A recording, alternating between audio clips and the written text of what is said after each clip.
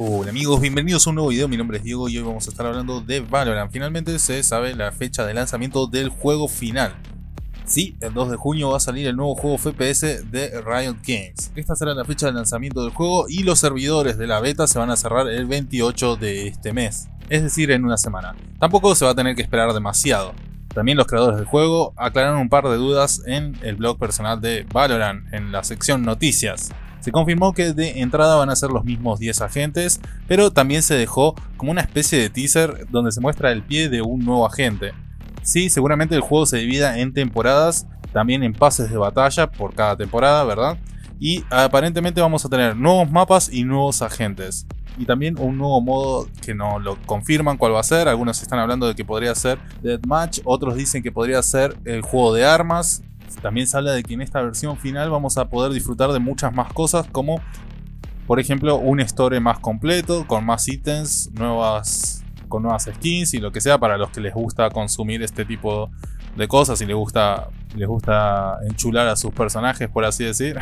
También dicen que están peleando contra los tramposos, los famosos cheaters. En esta beta capturaron a más de mil de estos cheaters. Es increíble, hay miles de personas que están todo el día intentando de hacer trampa. Por Dios, no es tan difícil jugar el juego. También dicen que están intentando de solucionar sus problemas con el Vanguard, el anti-cheat de Riot Games. Están intentando de mejorar un poco el desarrollo de este programa.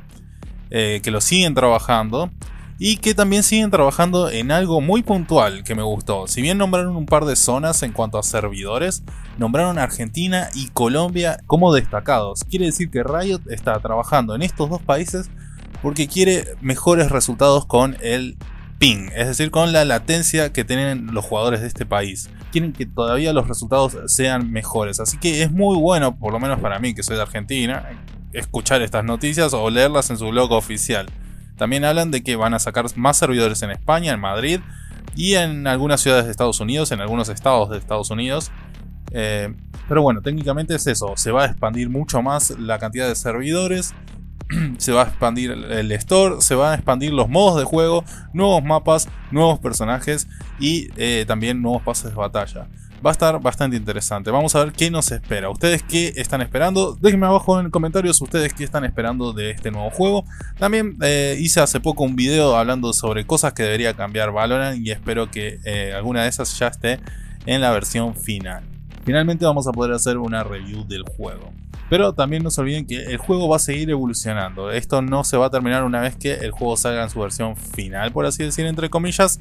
Simplemente el juego va a ir haciéndose updates cada mes, seguramente cada mes.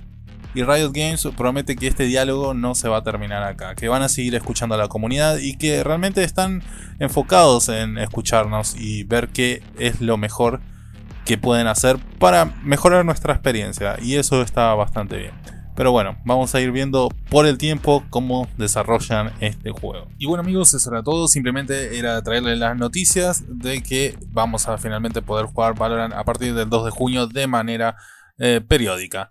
En fin, síganme para más noticias, eh, análisis de trailers, análisis de películas, análisis de series, manga y juegos de video. Nos vemos en el próximo video.